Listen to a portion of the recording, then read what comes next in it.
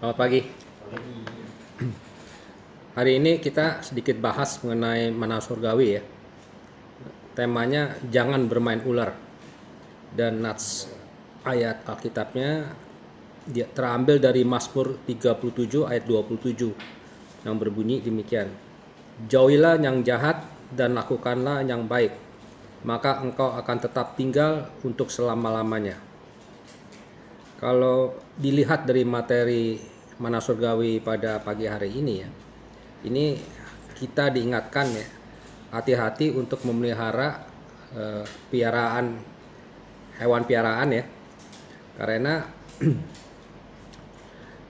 bisa mengancam jiwa kita gitu.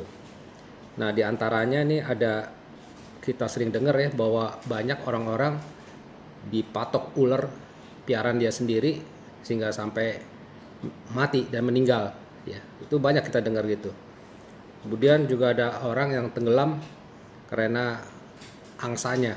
Ya entah kenapa dia nangkap atau apa terus dia nggak bisa berenang akhirnya jadi tenggelam. Tapi ada juga orang yang diterkam oleh harimau. Ya. Ada juga orang yang anaknya digigit diterkam dengan anjing pitbull pitbull itu anjing yang besar sekali.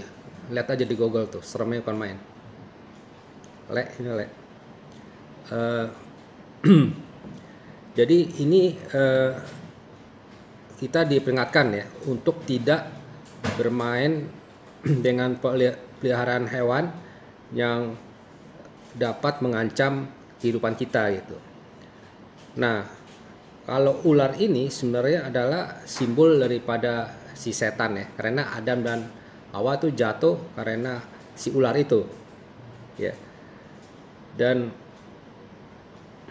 sebenarnya ular ini e, merupakan simbol e, kejahatan dan secara nggak langsung kita pun juga memelihara hewan-hewan tersebut gitu karena kalau kita lihat bahwa ular itu adalah simbol daripada kejahatan, tetapi secara langsung kita juga bisa melakukan seperti itu. Ya, contohnya iri hati, ya.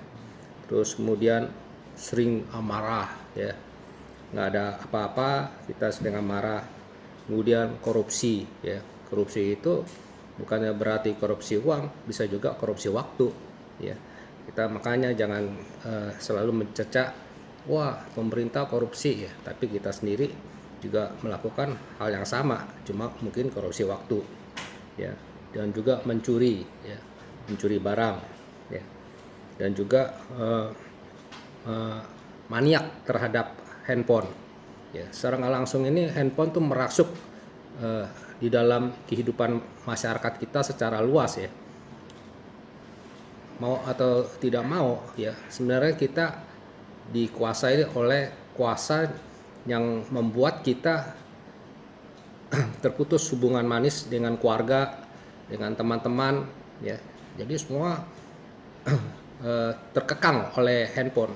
Dan ini merupakan suatu strategi si setan supaya kita semakin hari semakin jauh daripada Tuhan ya. Karena kalau diturutin ya handphone ya itu bisa dari pagi sampai 24 jam kita main handphone terus ya saya terus terang saya juga banyak tuh grup tuh tapi saya nggak mau ikutin gitu. Kecuali ada yang sakit atau yang uh, meninggal gitu ya.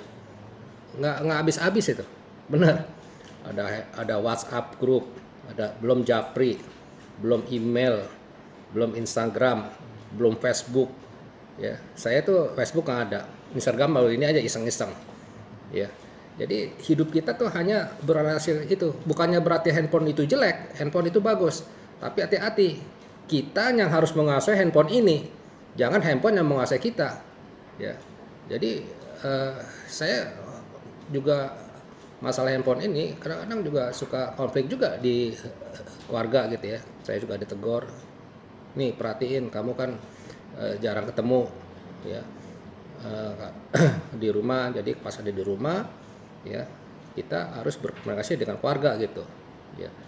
Karena saya pikir ini juga handphone ini bukan hal-hal yang positif aja hal negatif juga banyak gitu. Karena anak-anak kecil sudah bisa nonton blue film di handphone ini ya. YouTube sekarang udah kayaknya terbuka ya dengan blue film ini. Secara nggak langsung merasuk daripada kehidupan kita. Saya juga nggak merasa saya juga hebat ya. Saya juga satu saat bisa dipatuk oleh ular itu gitu sehingga hubungan kita tidak manis kepada Tuhan gitu jadi eh, ingin mengingatkan bahwa hati-hati ya kita jangan bermain ular yaitu merupakan suatu hal yang kejahatan bagi kehidupan kita sehingga rohani kita terganggu ya. Jadi tetap kita punya hubungan yang manis. Kenapa setiap hari kita harus berdoa, kita membaca firman? Tujuannya untuk memaintain ya hidup kita nih supaya kita nggak jatuh ke dalam dosa gitu. Yuk kita berdoa.